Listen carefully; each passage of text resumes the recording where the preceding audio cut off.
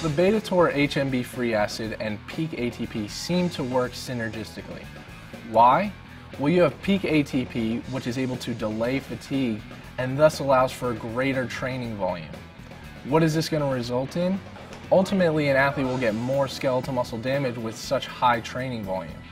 This is where BetaTOR HMB free acid comes into play, repairs skeletal muscle tissue, and allows you to recover.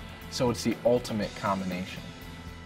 And a lot of companies will put out this product and say, oh, the combination of these ingredients has synergistic effects, but they actually don't test them. So our study did a long-term 12-week clinical trial looking at the combined effect of these supplements compared to them on their own. So in the study, when we combined these two, we gave 3 grams of HMB daily combined with 400 milligrams of peak ATP.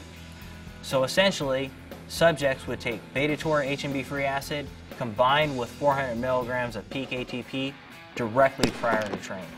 We found that the combination of HMB plus ATP improved power on the vertical jump, sprinting performance on the Wingate sprint, muscle mass on the DEXA, as well as direct muscle mass using ultrasonography.